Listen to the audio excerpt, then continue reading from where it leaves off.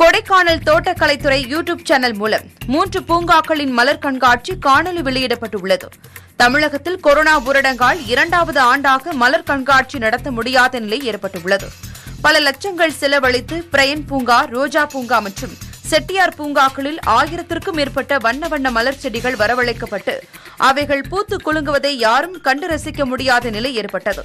இதனால் தோட்டக்கலைத்துறை YouTube channel மூலம் மூன்று பூங்காக்களிலும் பூத்து குலுங்கும் பூக்களின் காட்சிகளும் எழில் கொஞ்சம் பருந்து காட்சிகளின் காணொலி வெளியிடப்பட்டுள்ளது. பாத் தி கார்டன்ஸ் கொடைக்கானல் என்ற யூடியூப் சேனலில் இந்த பூங்காக்களின் பதிமூன்று நிமிட காட்சியை பொதுமக்கள் கண்டு ரசிக்கும்படி உருவாக்கியுள்ளது. இதற்கு பொதுமக்களிடையே நல்ல வரவேற்பு கிடைத்துள்ளது.